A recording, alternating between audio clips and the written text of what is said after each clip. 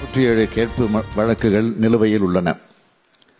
இவற்றில் சம்பந்தப்பட்ட வணிகர்கள் மற்றும் வணிக நிறுவனங்களின் எண்ணிக்கை ஒரு லட்சத்தி நாற்பத்தி ரெண்டாயிரத்தி ஐநூற்று அறுபத்தி ஒன்பது. இவற்றில் நிலுவையாக உள்ள தொகை இருபத்தி ஐயாயிரம் கோடி ரூபாய் என மதிப்பிடப்பட்டுள்ளது. இவ்வாறு மிக அதிக எண்ணிக்கையில் வழக்குகள் நிலுவையில் உள்ளதால் வணிக வரித்துறையின் பணிச்சுமை அதிகரிப்பதோடு நமது வணிகர்களும் மிகவும் சிரமத்திற்கு உள்ளாகி வருகின்றனர். தமிழ்நாடு அரசுக்கு வரவேண்டிய வருவாயும் பெருமளவில் நிலுவையாக உள்ளது. இவற்றில் பெரும்பான்மையான வழக்குகள் தமிழ்நாடு வணிக வரி சட்டம் மற்றும் தமிழ்நாடு மதிப்பு கூட்டு வரி சட்டம் ஆகியவற்றின் கீழ் நிலுவையில் உள்ள வழக்குகள்.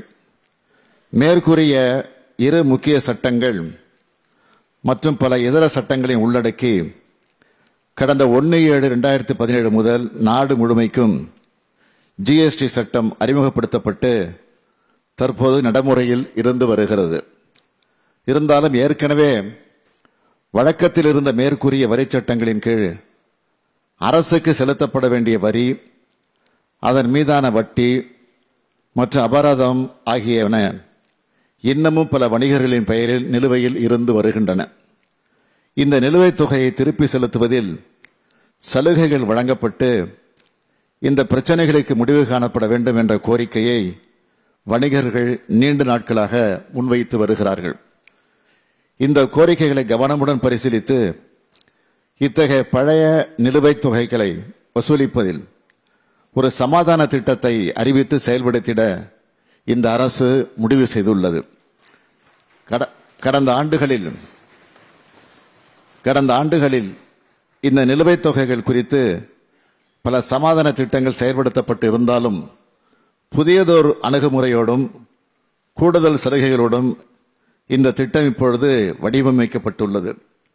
இந்த திட்டத்தின் கீழ் வரி மதிப்பீட்டு ஆண்டில் ரூபாய் ஐம்பதாயிரத்திற்கு குறைவாக வரி வட்டி அபராத தொகை செலுத்த வேண்டிய வணிகர்களுக்கு இந்நிலுவைத் தொகையானது முற்றிலுமாக தள்ளுபடி செய்யப்படும்.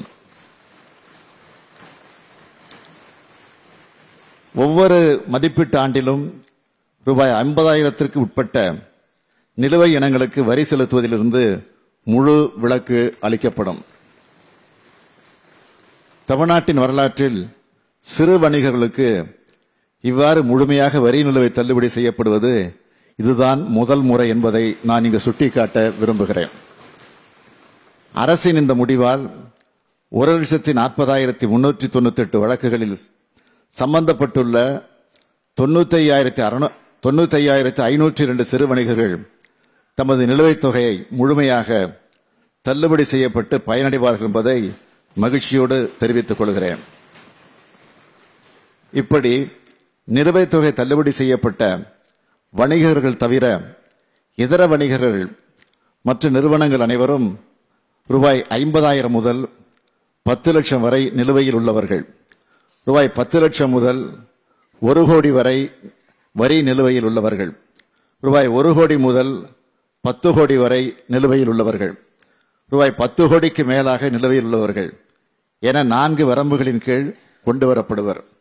மேற்கூறிய நான்கு வரம்புகளில் முதல் வரம்பில் உள்ளவர்கள் மொத்த நிலுவைத் தொகையில் இருபது விழுக்காட்டை கட்டி நிலுவை வழக்குகளிலிருந்து வெளிவரலாம். அல்லது அல்லது நிலுவையில் உள்ள வணிக வரி வட்டி மற்ற அபராத தொகையில் ஒரு குறிப்பிட்ட விழுக்காட்டு தொகையை கட்டி நிலுவை வழக்குகளிலிருந்து வெளிவரலாம். இதர மூன்று வரம்புகளில் உள்ள வணிக பெருமக்களும் நிலுவையில் உள்ள வணிக வரி வட்டி மற்ற அபராத தொகையில் குறிப்பிட்ட விழுக்காட்டை கட்டினால் நிலுவை வழக்குகளிலிருந்து வெளிவரும் வகையில் இந்த திட்டம் வடிவமைக்கப்பட்டுள்ளது.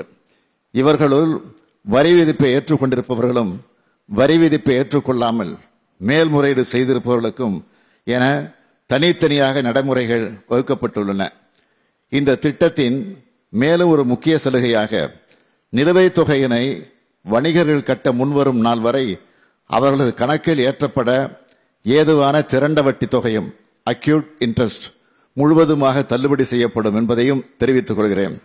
தமிழ்நாட்டின் வணிக பெருமக்களின் நீண்ட நாள் எதிர்பார்ப்பை நிறைவு செய்யும் வகையில் செயல்படுத்தப்படவிருக்கும் இந்த திட்டம் வரும் பதினாறு பத்து ரெண்டாயிரத்தி இருபத்தி மூணு முதல் நடைமுறைக்கு வரும். நான்கு மாத காலம் நடைமுறையில் இருக்கும். அதாவது ரெண்டாயிரத்தி இருபத்தி நாலாம் ஆண்டு பிப்ரவரி பதினைந்தாம் தேதி வரை இந்த சமாதான திட்டம் நடைமுறையில் இருக்கும். அரசின் இத்தகைய முன்னோடி முயற்சியை முழுமையாக வணிகர்கள் பயன்படுத்திக் கொள்ள வேண்டும் என்றும் நிலுவையில் உள்ள வழக்குகளுக்கு தீர்வு காண்பதோடு தமிழ்நாடு அரசுக்கு சேர வேண்டிய வருவாயும் அதிகரித்து வணிக பெருமக்கள் மேன்மேலும் தொழில் வளர்த்து வளம் பெற வேண்டும் என்றும் கேட்டுக்கொள்கிறேன். நன்றி. ஒரு நாள் பத்து தலைப்புகள் நூறு செய்திகள். இன்றைய செய்திகளில் அசத்தலான ஒரு மணி நேர தொகுப்பு செய்திகள் நூறு. நாள்தோறும் காலை ஆறு பத்து மணிக்கு மற்றும் இரவு ஒன்பது மணிக்கு நமது நியூஸ் தமிழ் தொலைக்காட்சியில் காண தவறாதீர்கள்.